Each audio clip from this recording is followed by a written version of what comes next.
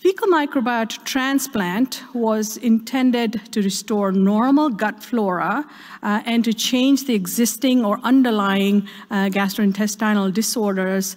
It was initially uh, started as a treatment for antibiotic-resistant C. difficile colitis.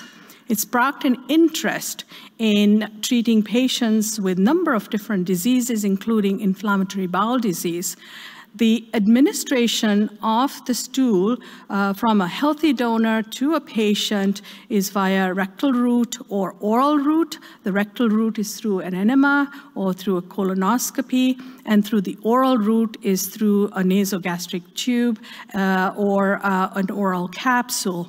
I know we've done a lot of basic science research in this area as well uh, with uh, mice studies, and we've looked at mice that were a little anxious and transferred the non-anxious mice stool into the anxious mice. It calmed them down, and vice versa. We've also done uh, mice studies looking at overweight mice and the ones that were underweight, and the reverse effect was uh, shown in the mice studies as well. So there's a huge amount of interest as far as fecal microbiota transplant and the treatment in different uh, disorders.